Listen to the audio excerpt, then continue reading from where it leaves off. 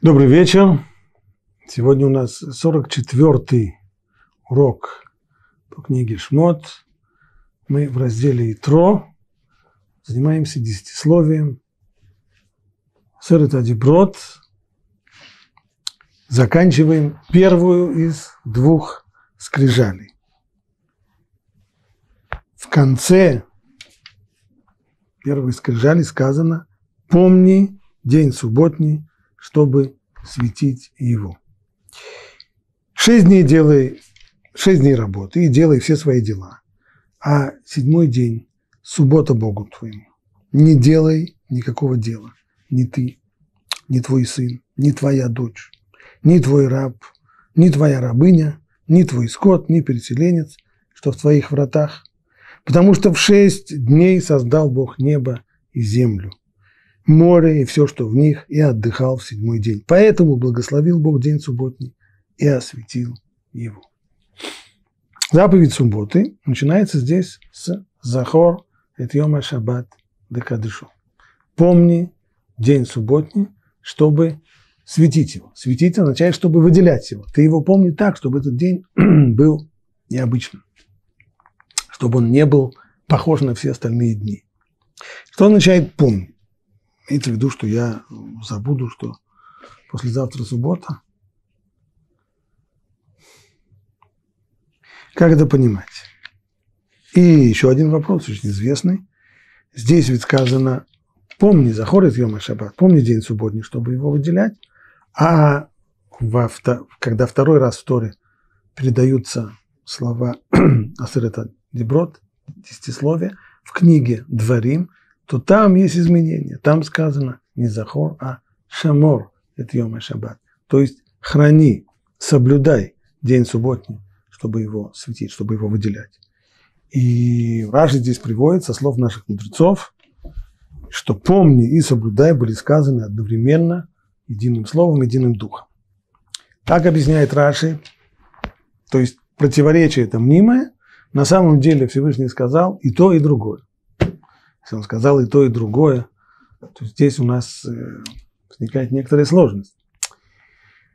Дело в том, что человеческое ухо, человеческий слух не способен, в отличие от э, нашего зрения, когда мы можем смотреть и воспринимать одновременно большую информацию, много-много вещей видеть одновременно, то слышать одновременно разные вещи у нас не получается. Мы слышим вещи одно за другим. Таким образом, если Шамор Захор помни и соблюдая были сказаны одновременно, то как их расслышали? Как можно было это услышать, если было сказано и то, и другое? Понятно, что Всевышнему нет сложности сказать одновременно два слова и Шамор, и Захор. Но как это мы восприняли? И еще, а какое содержание самой этой заповеди Захор? Помни. Что означает это захор?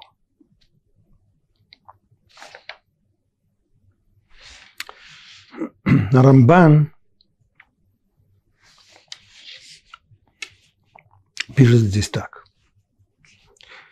Прежде всего, почему в конце первой скрижали знаем, что очень многие комментаторы подчеркивают, если посмотреть внимательно на скрижали, то видно, что первые скрижали сосредоточены заповеди, которые управляют отношениями человека к Богу, а заповеди, касающиеся отношений к другим людям, они на второй скрижали.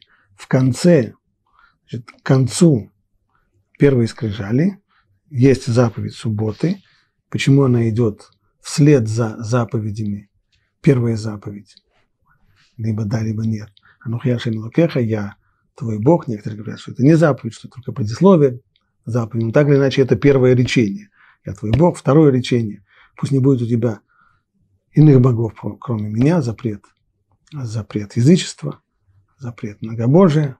Вслед за этим запрет попусту упоминать имя Бога. И, наконец, вот теперь суббота. Повелев сынам Израиля хранить веру в единого Бога, первые два речения, сотворившего все существующее, управляющего всем сотворенным и знающего обо всем, что происходит в мире, Всевышний также заповедал, чтобы у нас был постоянный знак – свидетельствующий о том, что Вселенная сотворена им. То есть основное назначение субботы – это знак. Она знак, нам постоянно напоминающий, посто...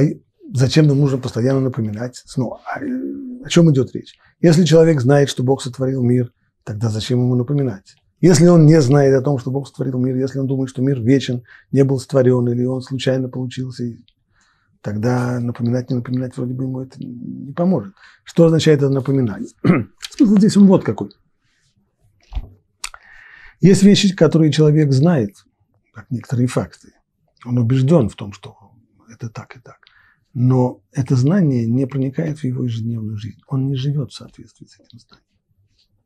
Поэтому знак о творении необходим, знак о том, что мир сотворен Всевышним, необходим для того, чтобы человек жил так, как полагается жить в мире с сотворенным Богом.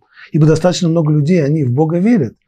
Если их спросишь, откуда мир, они скажут, как откуда. Ясно, понятно, сотворен. Но в жизни их конкретно это никак не проявляется. Они живут так, точно так же, как живут люди, которые в Бога не верят. Не отличается их жизнь. Поэтому необходим этот знак, чтобы он постоянно-постоянно напоминал нам, где мы находимся, как мы сюда попали, что это за мир, в котором мы живем. Постоянный знак, свидетельствующий о том, что Всевышний, что Вселенная сотворена. Это и есть заповедь о субботе, это и есть память о сотворении мира. Ну, дальше он приводит то, что мудрецы сказали, что Шамор и Захор были сказаны единым духом вместе, и помни, и соблюдай. Но тогда вопрос, если это было сказано вместе, то почему тогда, а как это было записано точнее на скрижалях? В Торе мы знаем, что написано в книге Шмот в 20 главе, написано «Захор и Йома Шаббат», помни день субботний, а в книге Дворим когда десятисловие повторяется еще раз, то там написано «Шаморет Йома Шаббат» – «Соблюдай день субботний». Ну, так все, письменная Тора все так и развела. А на скрижалях что было написано? Шамор или Захор? Или все вместе? Словами Рамбана. И я поражаюсь. Если «помни и соблюдай» были произнесены устами Всевышнего, то почему же не было так записано на первых скрижалях? Что там было написано? скорее всего, то, что здесь у нас, Захор Шаббат. И возможно, что и на первых, и на вторых скрижалях было написано только «помни». А Моше пояснил народу Израиля, что и «соблюдай» было произнесено вместе с «помни». Вот это и есть подлинное значение толкования наших мудрецов. То есть то, что говорят мудрецы, что Шамор, Везахор, Бадибура, Хадна умру. Помни и соблюдай были сказаны вместе, а что было записано конкретно на скрижалях? Не может быть записано и то, и другое. Написано это только один раз. Нет двух вариантов скрижалей, только один. Значит, скорее всего, было записано то, что появляется первым, а именно Захор Йом Шаббат, помни день субботний. А все остальное, остальное это уже устная Тора. Устно Муше объяснил народу, что хотя они-то, может быть, слышали только Захор. Или уж, по крайней мере, то, что написано на скрижале было. Захорет Йома Шаббат, помни день субботний. Но поскольку Всевышний произнес вместе «помни и соблюдай», то необходимо знать, что оба они существуют. Одно без другого субботы нет. Суббота, в которой есть только Захорет Йома Шаббат, и нет Шаморет Йома Шаббат, это совсем не та суббота. Теперь нам только осталось определить, а что же входит в заповедь Захор. Заповедь Шамор более-менее понятна. Шамор – соблюдать, также и охранять. Это значит привести к тому, чтобы суббота не нарушалась, остерегаться и быть осторожным, не нарушать святость субботы, не делать те вещи, которые Тора запрещает делать в субботу. 39 милоход и производные от них. А что такое захор?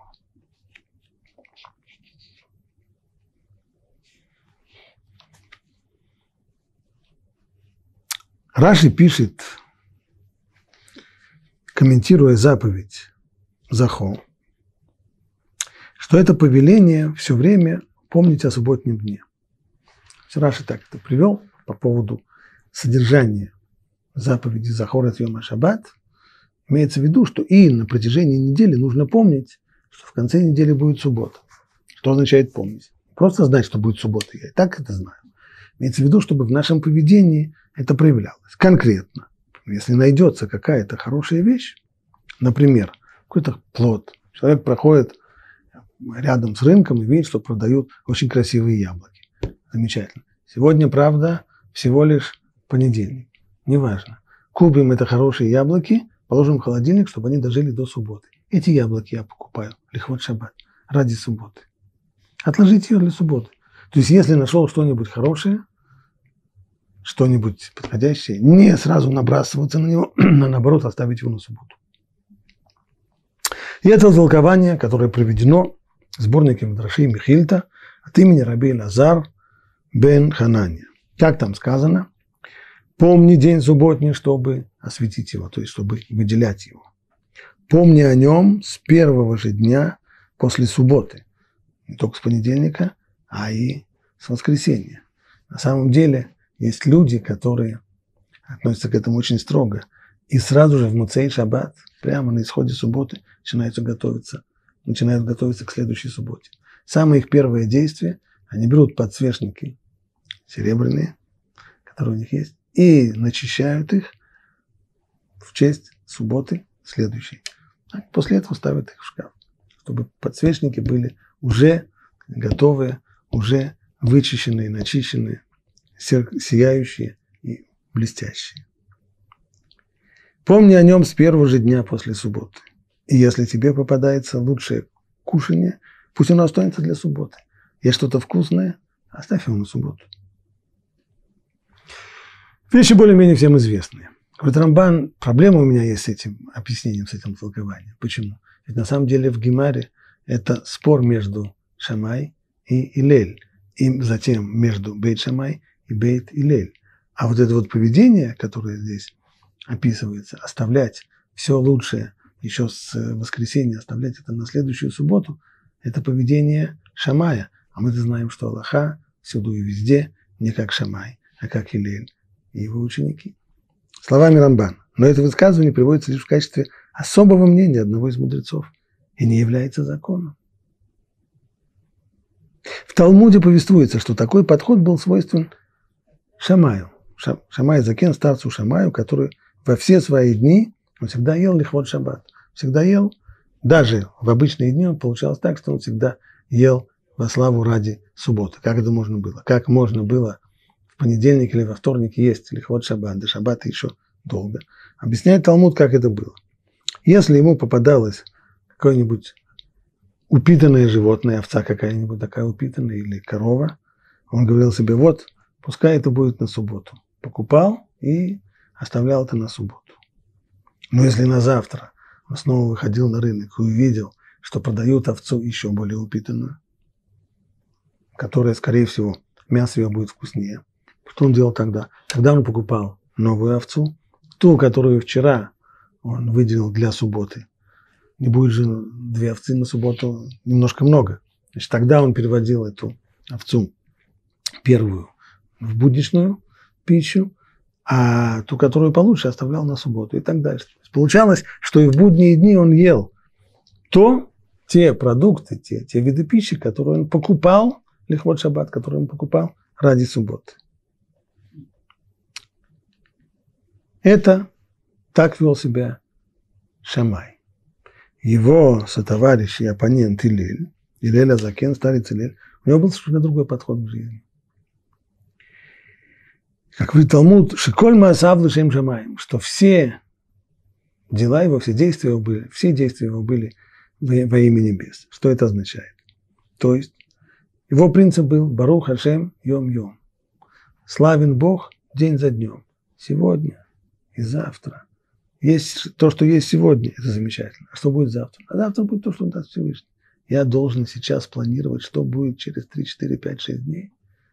Через 3, 4, как сегодня мне Всевышний дал пропитание, так и завтра даст. Сегодня понедельник, есть у нас сегодня хорошая пища, вкусная причем, съедим. А что будет на субботу?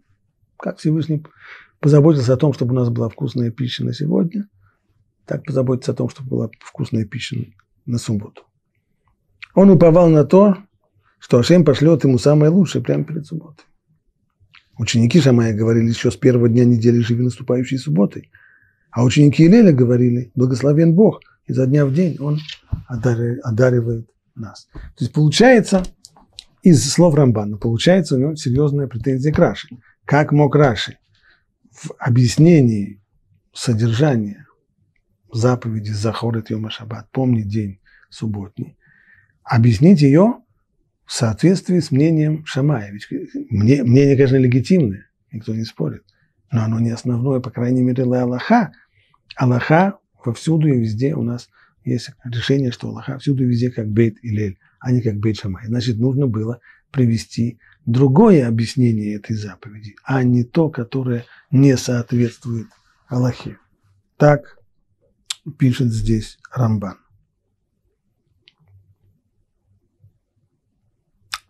Ну, а находит ли он другое значение этой заповеди? Чем, чем заполняет? Прежде всего, это вещь известная, что э, заповедь субботнего кедуша, когда мы выделяем Захорет Йома Шаббат Лекадшо, ты помни, то есть упоминай день субботний Лекадшо для того, чтобы его выделять, освещать, посвящать его, так, чтобы он был выделенным, более возвышенным, чем все остальные дни. Конкретно эта заповедь выполняется тем, что произносится кедуш, освящение субботы. Мудрецы постановили произносить это для пущей важности еще один бокалом вина. Это, причем ну, это нужно сделать в саму субботу, так, выпол... так это самое простое выполнение этой заповеди Захорот Йома Шаббат, помни день субботы. А есть еще одно значение, говорит Рамбан. Там же в спорнике Медрашей Михельтов, в Михельте сказано от имени Раби Ицука. Ты не называй дни недели так, как называют их другие народы, но называй их в честь субботы. То есть, вещь известная в Рамбан, у евреев все не как у людей. У людей есть название и месяцам, и дням недели. Есть воскресенье, есть понедельник, есть вторник, есть среда, есть Sunday, Monday, Friday. У нас все не как у людей. У нас есть только порядковые, порядковые э, номера. Есть первый день после субботы, второй день, третий, четвертый, пятый, шестой. Все это именно для того, вот здесь-то и выполняется таким образом эта заповедь. Ты помни день субботний, даже чтобы когда ты читаешь дни, даже когда ты указываешь название дня, чтобы любой день он был относительно к субботе. Сегодня первый день после субботы, второй день после субботы. То есть получается, что весь отсчет идет в соответствии с заповедью.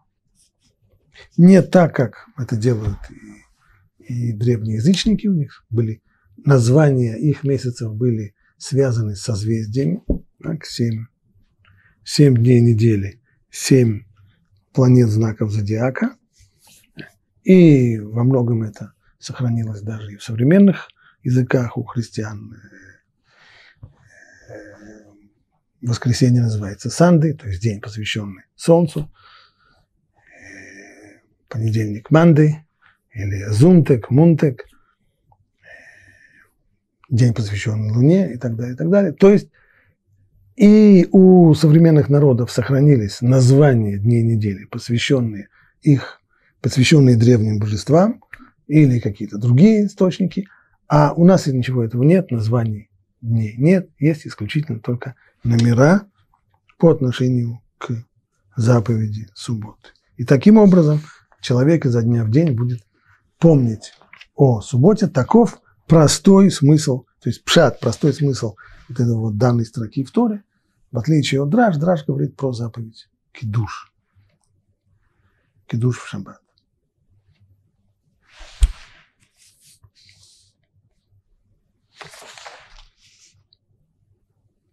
Еще одна деталь, пожалуй. Даже несколько деталей, связанные с этой субботой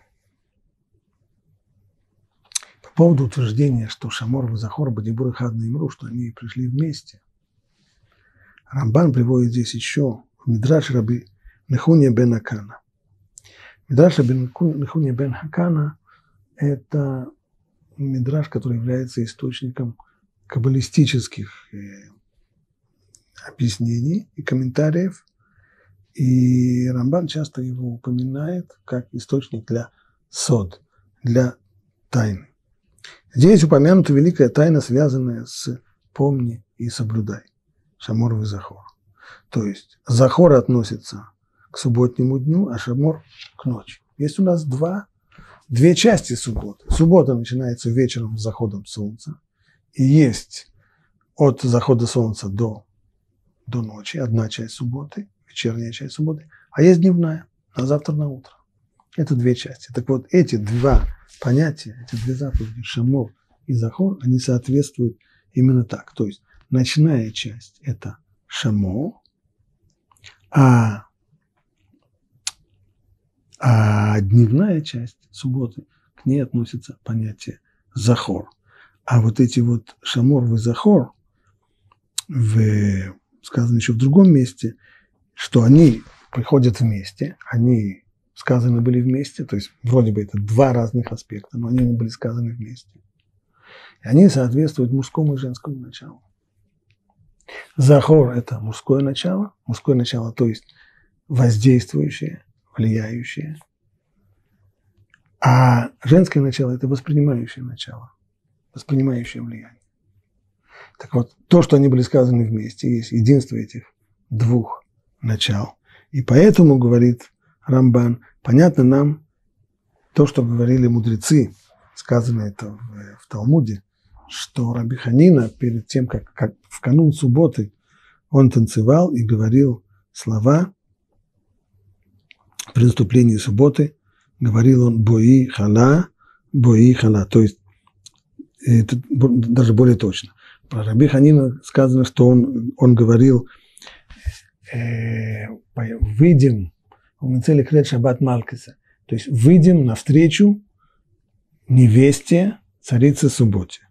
То есть он называл субботу не только царицей, но и невестой. А Рабияной он облачался в субботние одежды и говорил «Бои хала, бои хала, приходи, невеста, приходи, невеста». И в дальнейшем вот эти вот выражения, они легли в основу э, того поэтического гимна, который составил Абишлому Аль-Кабец уже в, в Цфате в, в XVI веке, составил именно вот на основе этих самых слов. Когда приход субботы, именно вечером, в Лейль Шаббат, в субботнюю ночь, воспринимается как приход невесты, как это говорит Талмуд, что, что суббота пожаловала Всевышнему о том, что у нее нет пары. У всех дней есть пара. У первого дня есть пара, первый, второй день пара. Третий, четвертый день пара, пятый, шестой день пара, а суббота нет у нее пары. То есть есть здесь только возможность воспринять, но нет того, кто будет воздействовать. Нет здесь пары. Поэтому Всевышний сказал, успокойся, народ Израиля будет тебе парой. То есть так создается это новое единство еврейского народа с субботой, которая и, и объясняется здесь вот именно этой самой аллегорией невесты, потому что и это происходит именно в Лейль Шаббат, при наступлении субботы вечером, а не днем субботу, потому что вот это вот э, это именно та, тот аспект, та часть субботы, которая соответствует женскому воспринимающему началу.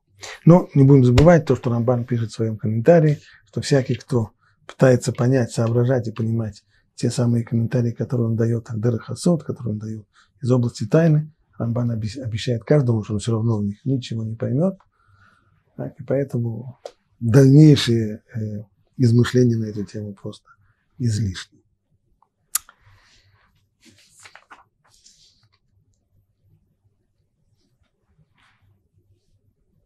Итак, помни день субботы, чтобы светить его, шесть дней работы и делай все свои дела. А в седьмой день суббота Богу. Ну, так понятно, шесть дней, если в субботу, суббо, седьмой день суббота Богу, то в остальные шесть дней я могу делать свои дела. Что здесь такого Тора мне говорит? Делай все свои дела. Раша объясняет здесь со слов мудрецов, сделай все свои дела, это означает, что нужно подойти к субботу так, к субботе нужно подходить так, как будто бы все дела уже закончились, совершились. Чтобы не было ощущения у человека, что он прервался – прервал работу на середине, и сейчас только нужна вынужденная такая остановка, просто суббота пришла, все, остановка. Но, в принципе, человек будет чувствовать себя все время вот в состоянии этой остановки, и недоделанные дела не будут давать ему покоя. Не так. С наступлением субботы ты должен почувствовать себя так, как если бы все твои дела были уже завершены.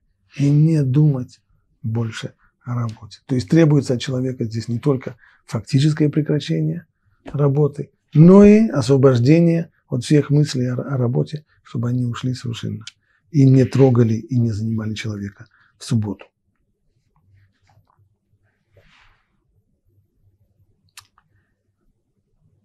Потому что в шесть дней создал Бог небо и землю, море и все, что в них, и отдыхал в седьмой день, поэтому благословил Бог день субботний и осветил его.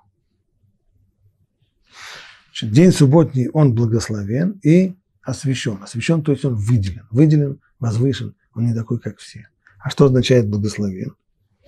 И в чем это выделить? Бог благословил и осветил. Говорит Раши, благословил субботний день двойной, двойной порцией мана. Двойным хлебом, который выпадал в пятницу. А осветил его. Так, то есть он его выделил, день не такой, как все, чем? Тем, что в субботу ман не выпадал.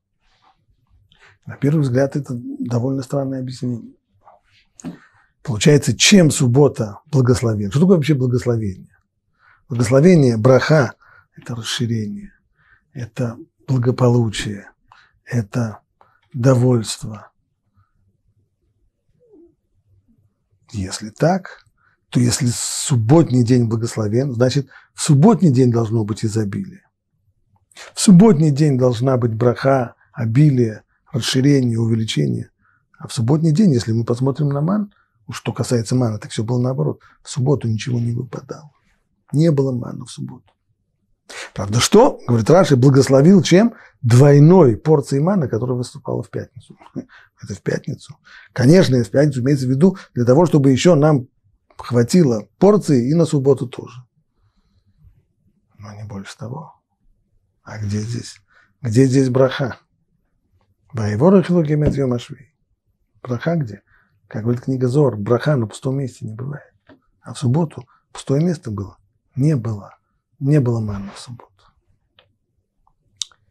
И объяснение таково.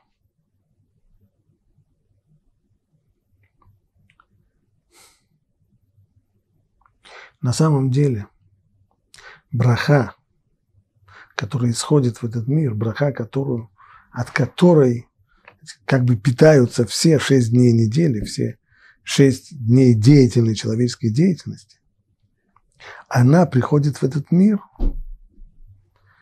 в шаббат. Реализуется она в конкретные плоды человеческой деятельности, в его заработок, в его пропитание, во все шесть дней недели. Но приходит в мир, в наш мир она приходит именно в субботний день. И она приходит еще не реализовавшись, не материализовавшись в конкретные булки, яблоки, сосиски и молоко. Это только потом должно произойти, во все шесть дней. А сейчас это восприятие вот этого воздействия, которое исходит из высших миров в наш мир, восприятие его в чистом виде. Поэтому в этот день даже такой вещи, как ман, и то и не было. Ман выпадал во все остальные дни недели.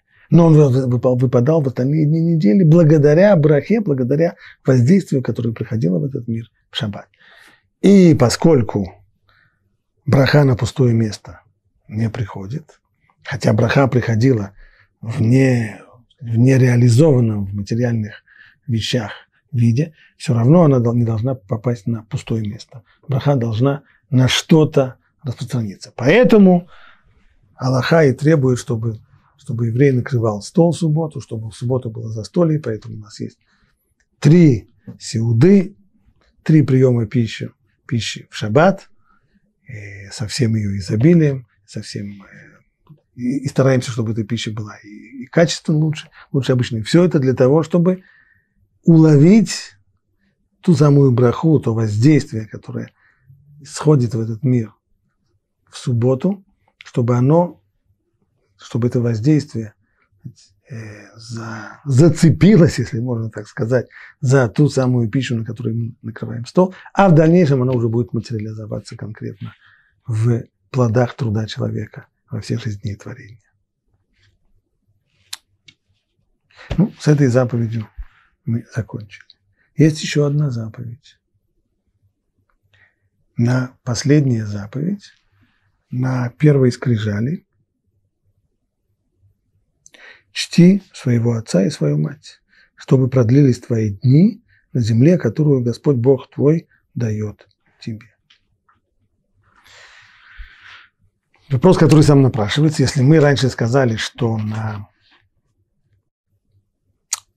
на первой скрижали сосредоточены заповеди, которые регулируют отношения человека с Богом, то, казалось бы, здесь вот эта последняя, пятая заповедь, она уже относится к другим людям, к родителям, к отцу и к матери, а не к Богу.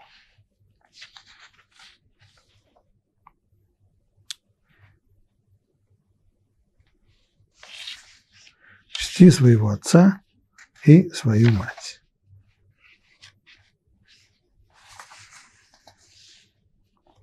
Рамбан. Завершив повеление, касающееся почитания самого Творца, то есть первые четыре, Всевышний переходит к заповедям, определяющим отношения между людьми. То есть, э, да, так говорит Рамбан, пятая заповедь, она уже относится к отношениям с другими людьми. Но начинает он с почитания отца, который для своих людей подобен Творцу. Здесь есть только подобие. На самом деле, конечно, эта заповедь регулирует отношения с другими людьми. Но здесь есть подобие предыдущим заповедям, которые регулируют отношения с Богом. Ибо родители для своих детей, они своего рода творцы. Ведь родители тоже принимают участие в сотворении человека. Следует обратить внимание на то, как говорят наши мудрецы. То есть, прежде всего, понятно нам, что мы творение Всевышнего. А не просто же так мы появились на свет. Всевышний, творя нас, он использовал здесь еще и родителей, отца и мать в качестве партнеров. Так говорят мудрецы в Талмуде, в трактате Неда, трое участвуют в создании человека. Бог, Отец и Мать. От отца в человеке кости, жилы, ногти и головной мозг, от матери кожа, плоть, волосы и зрачки глаз. Ну, а что Всевышний? А Бог дарует ему душу. Душу, выражение лица, зрение, слух, речь, движение, способность к мышлению. Ну и когда приходит время человеку покидать этот мир, Бог забирает свою часть, душу, а части, принесенные отцом и матерью, ну так, так и остаются. То есть во-первых, здесь сказано одна вещь очень, очень важно, нужно внимательно отнестись к тому, что говорят мудрецы. Три партнера в создании человека. Физическая часть человека – создание матери и отца. Все то, хромосомы, вся наследственность, все то, каким образом выстраивается тело, тело человека, определено его родителями. А душа? А душа душу Всевышний дает. То есть душа человека, она не связана с его родителем. Родители не могут определить душу своего ребенка. Сказано в различных источниках, что определенное поведение родителей может повлиять на то, какую душу получит ребенок. Но это уже вопросы вознаграждения, наказания, вопросы э, воздаяния людям за их правильное или, наоборот, неправильное поведение.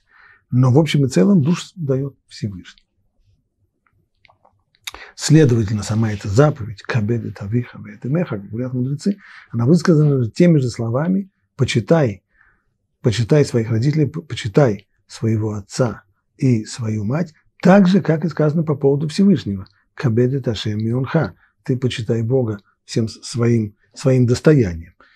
То есть то, что Тора здесь хочет сказать, что так же, как вы относитесь к Богу, подобного же рода отношения должно быть к своим родителям.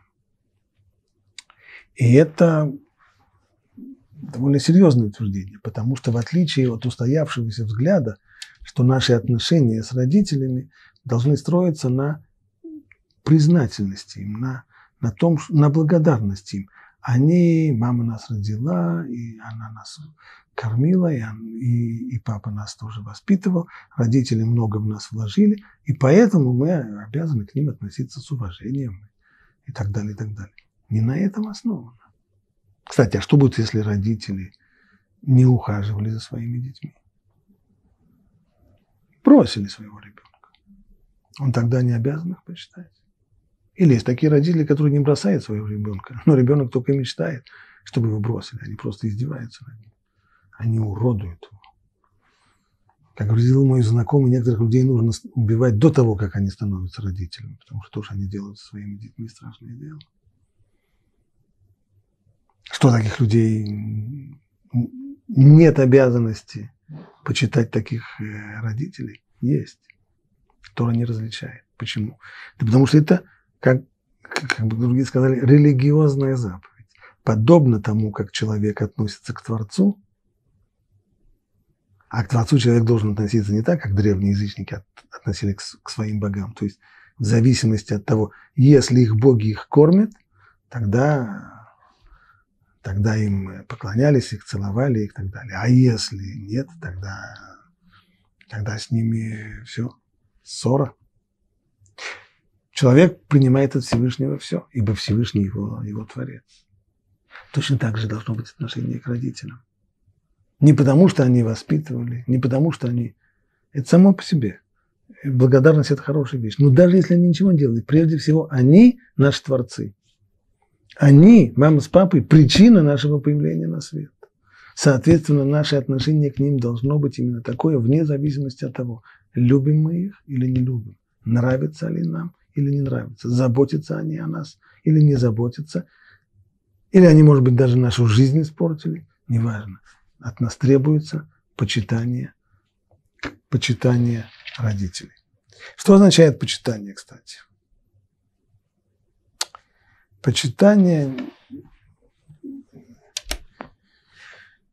Слово, которое упомянуто кабеды, тавиха, вейтемеха,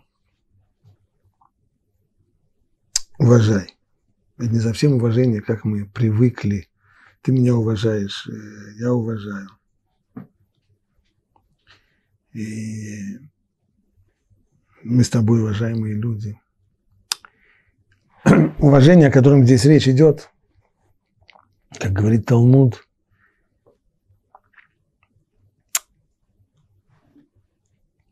уважать человека, это прежде всего мы знаем, не Талмуд говорит, извиняюсь, это выражение не талмудическое. Уважать человека – это значит считаться с его желаниями. Так, то есть у человека есть желание его потребностей. Почитание родителей означает удовлетворение их потребностей. В первую очередь. Самых-самых простых. Родители нуждаются в еде, их нужно накормить. А если они сами могут кормиться, нужно позаботиться о том, чтобы у них была, была, была еда. Нужно сходить в магазин, значит, нужно сходить в магазин и купить им еду. И если мама говорит, своему сыну или своей дочке, сходи в магазин, принеси, купи то-то и то-то. А у, ма, у сына или дочки сейчас очень-очень-очень-очень какие-то важные дела. И хочется сказать не сейчас, нельзя так сказать не сейчас. Родители требуют сходить в магазин, ходим в магазин. Значит, кормить, одевать, заботиться о том, чтобы была, была одежда. Затем заботиться о квартире, о том, чтобы был кров над головой, называется махнис, умуцы. То есть забота о всех прежде всего, материальных заботах родителей. Это входит в заповедь Кабеду Тавих Не будем забывать, что есть еще одна заповедь. Мура, страх перед, перед родителями. Это уже совершенно другого рода повеление. То, что написано здесь у нас в десятисловии, это именно забота о конкретных нуждах родителей. Вопрос э, зависит от рода, какую именно душу получит человек, я имею в виду еврейскую семью, не еврейскую. То есть то, что мы говорим, что от, от, от людей не зависит, не зависит то, как, как, какую душу они, какую душу Всевышний посылает. Имеется в виду, конечно, какой уровень души, но то, что от, э, от родителей зависит, будет ли это еврейская душа или не еврейская, это, конечно, конечно, зависит. То есть не то, что они заказывают, но просто еврейским родителям Всевышний посылает еврейскую душу, а, а нееврейским родителям нееврейскую душу. Это уже вместе с тем мы знаем, что есть, бывают случаи таких, э, можно так сказать, блуждающих душ, то есть осколки. Наши мудрецы говорят, есть, э, что когда Всевышний даровал Тору на Синае, то известно, что он ее предлагал другим народам. И другие народы отказались. Да, отказались, то есть по абсолютному большинству. Но, безусловно, были среди других народов люди, которые готовы были бы принять на себя? Да. И их души в конечном итоге, в конечном, в конечном итоге находят свой путь и, и толкают человека на гию, на присоединение к еврейскому народу. Среди евреев, безусловно, были тоже единицы, которым, хотя весь народ сказал, написано, что весь народ сказал, на и внешма, все, что Бог сказал, мы это сделаем, и мы это выслушаем, но не исключено, что было несколько людей, которые в глубине души про себя подумали, нам это надо, нам это нужно и так далее. Такие люди в конечном итоге находят свой путь, уходят от, э, от еврейского народа. Так или иначе, у кого именно рождается, когда рождается человек, который получает такую душу, которая не уживается в нееврейском теле и толкает человека часто на совершенно иррациональное поведение, почему-то его толкает к евреям, и, он присоединяется к ним – это уже мы не знаем, как получается. К примеру, самый-самый, один из самых-самых известных герим, который был, это граф Потоцкий в XVIII веке, который по субботам испытывал просто, так, по крайней мере, традиция утверждает, что он э, был в депрессивном состоянии по субботам, и никогда не мог понять, почему, живя довольно привольной и, и веселой жизнью в Париже XVIII века, почему по субботам на него нападала какая-то невероятная черная тоска и так далее. Так далее. В конечном итоге это его привело к евреям. Есть такое явление. Но так или иначе, по крайней мере, то, что люди, может быть, некоторые думают про какое-то родство душ, что если что между родителями и между детьми есть родство душ, так это заблуждение, родства душ нет. Есть родство на уровне физической. То есть, понятно, что характер – наш характер, наш медот, качество характера, они от родителей. Но это не, это не то, что называется высшей душой. Характер – это все то, что относится к животной, к низшей душе. И поэтому наши родители через гены, через, э, через наследственность, они тем самым определяют характер наш, как детей, но не души. Души – это приходит свыше.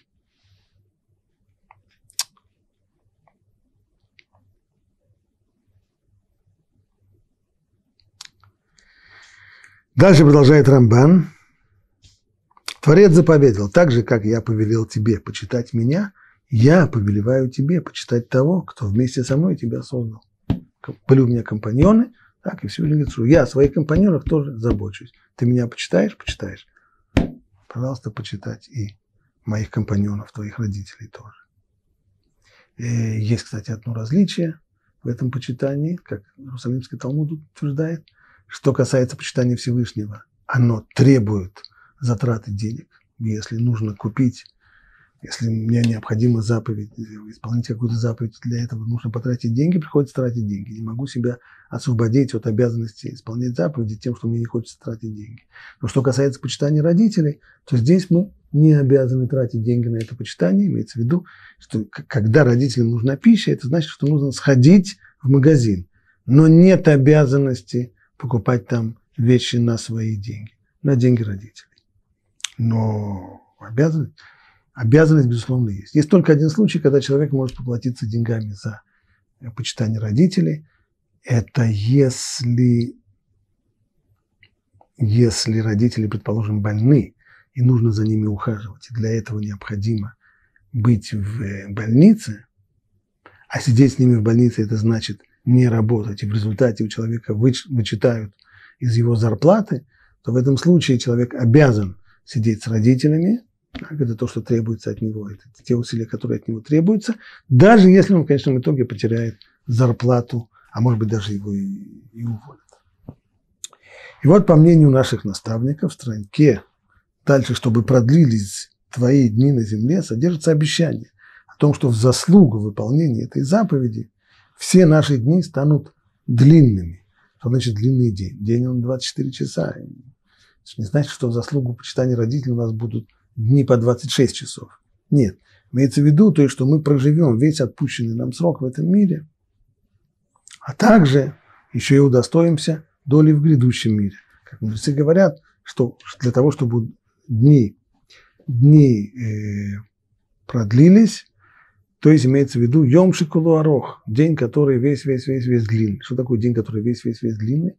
Имеется в виду день нескончаемый. То есть такое бытие, в котором нет ограничений во времени, это грядущий мир. То есть обещается здесь в награду за почитание родителей и благополучие в этом мире, и доля в мире грядущем. Э, еще вопрос. Какая лоха почитания э, приемных родителей евреев по отношению к приемным родителям не больше нет вот этой обязанности, которая, о которой говорит здесь Всевышний, как я вас создавал, у меня были партнеры, поэтому вы их тоже обязаны почитать. Так, поскольку приемные родители не были э, не были компаньонами Всевышнего по созданию человека, то той обязанности, которая сказана здесь, нет. Стало быть, все, что обязывает к ним, это то, что обязывает на уровне медот, а именно благодарность. Как человек, мы сказали, что суть заповеди почитания родителей – это не благодарность. Это не значит, что благодарности не нужно. Э, благодарность – это здесь вещь не нужная, она вещь нужная. Мы только хотели сказать, что даже в том случае, когда родители не заслуживают никакой благодарности, когда они исковеркали – жизни своих детей. Их тогда нужно их почитать, потому что обязывающий факт почитания их – это то, что они создатели, то, что они были партнерами Всевышнего по созданию человека. Но если есть приемные родители, которые не были партнерами Всевышнего по созданию человека, тогда этой обязанности нет. Но есть и вещи, которые человек должен делать, исходя из своей признательности и благодарности тому, кто на него тратил время, усилия, нервы и деньги тоже. Что конкретно тогда? Здесь уже нет таких жестких требований, но то, что разум, э, здравый разум человека и принятые нормы в обществе обязывают человека э, делать из благодарности к приемным родителям, то он и должен делать. Еще, э, еще здесь есть вопрос. Если мама живет с отчимом и принуждает его уважать, а он просто даже евреев ненавидит. Что касается, первое, что касается отчима. Мать вышла замуж. Есть обязанность э, почитать мужа, мужа своей матери. Через, поскольку есть обязанность почитать мать, то через обязанность почитать мать есть и обязанность почитать ее мужа. Только то время, когда они женаты. Если они развелись, то нет. Но эта обязанность почитания мужа своей матери, она относится только в том случае, если муж это ее действительно муж. Муж, что называется, законный. Имею в виду э, роспись в ЗАГСе. Имеется в виду, что если мать вышла замуж за нееврея, этот брак по закону Торы, он незаконный, его не должно быть, то, соответственно, обязанности почитать э, мужа матери нееврея нет, вовсе нет. Но если муж матери еврей, если очень еврей, то есть обязанность его почитать как часть, неотъемлемая часть почитания самой матери.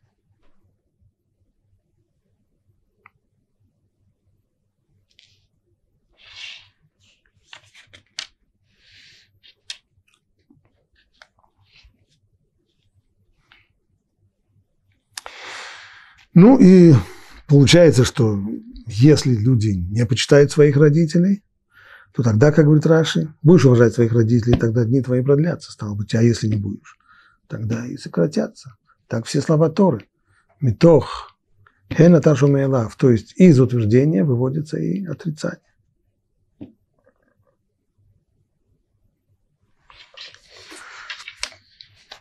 Переходим на вторую скрижаль.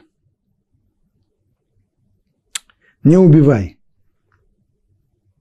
не прелюбодействуй, не кради.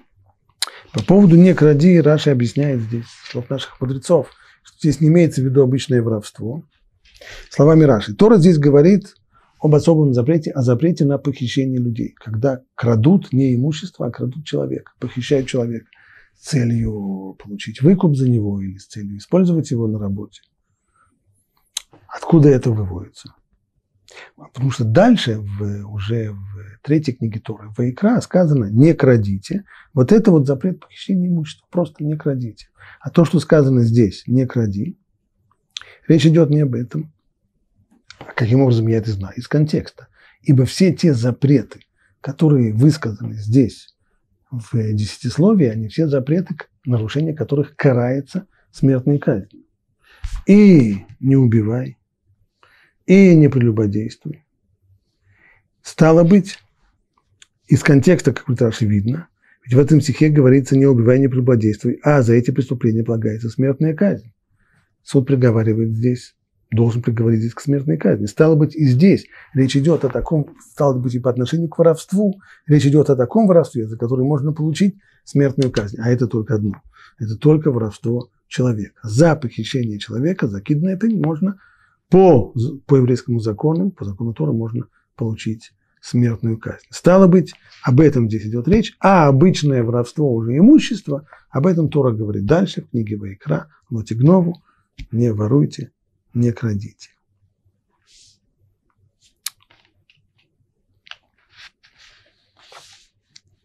Завершая э, разговор о э, об отношении к родителям, имеет смысл, может быть, еще прочитать то, что говорит Равир, возвращаясь к тому самому первому вопросу, каким образом заповедь почитания родителей попала на первую скрижаль, которая посвящена почитанию Всевышнего. Мы дали один ответ, который дают наши мудрецы, ибо Всевышний говорит, что ваши родители – это мои компаньоны, стало быть, отношение к родителям, оно подобно отношению к Творцу. Рав видит здесь дополнительную сторону, дополнительный аспект.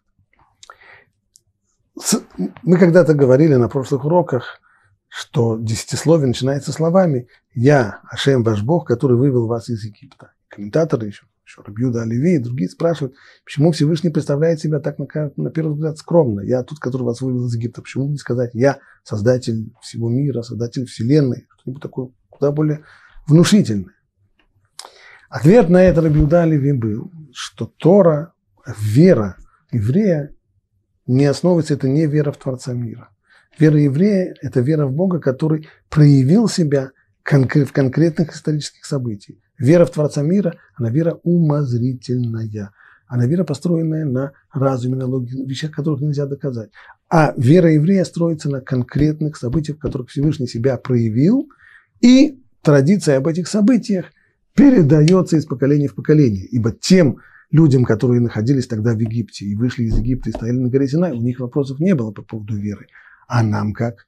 Через десятки поколений. А для этого есть традиция.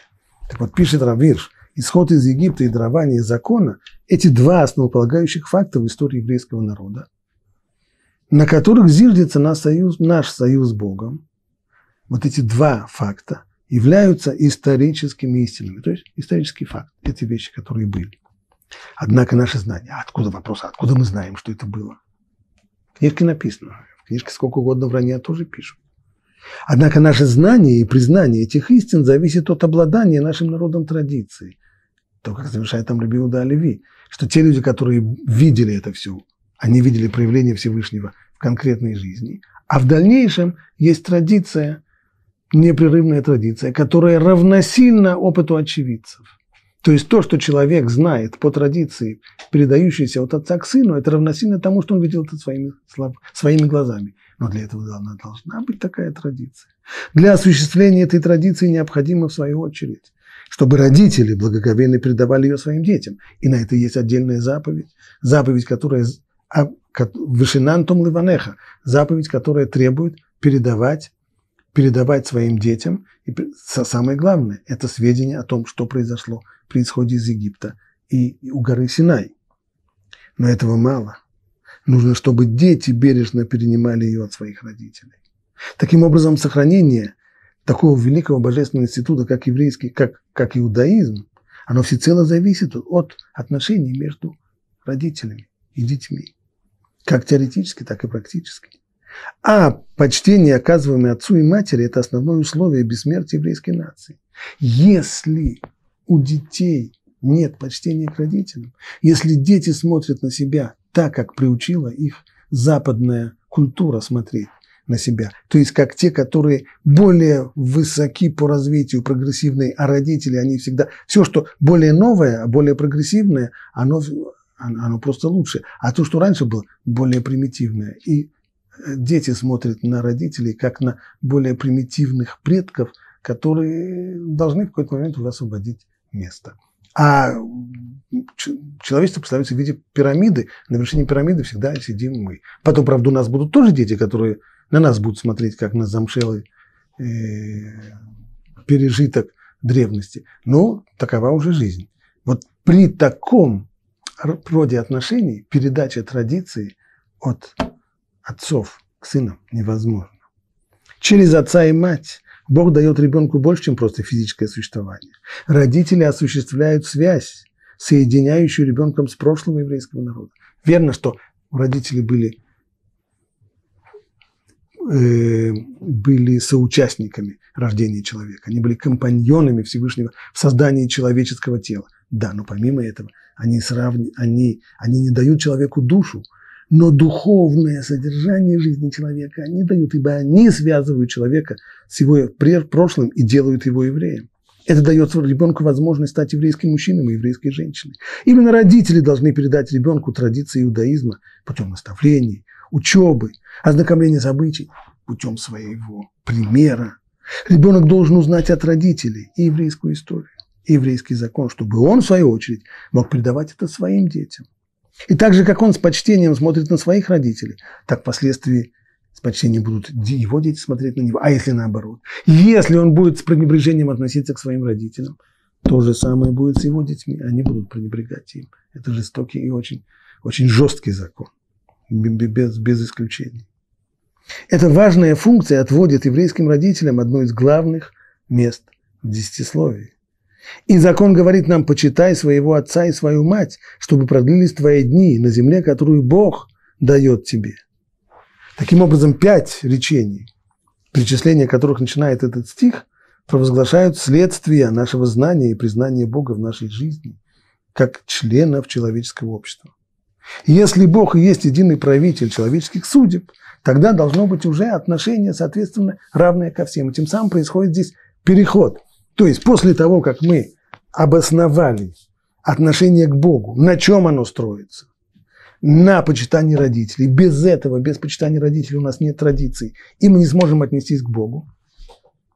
В тот момент, когда у нас есть это, и мы относимся к Богу и понимаем, что Он хозяин всего, то из того, что он хозяин всего, следует равенство всех людей друг перед другом. Другой причины равенства нет, кроме того, что здесь есть единый хозяин и все его создания. То есть, если он руководитель всех людских поступков, тогда следует считать, что все твои собратья в равной степени согреты его попечением. Тогда у всех одинаковые права на их собственность, на их имущество, на их честь, на их семью. И тогда понятно, что глаз Божий будет судить за каждым действием, предпринятым против твоего собрата, который получил свое место на земле именно по воле Бога.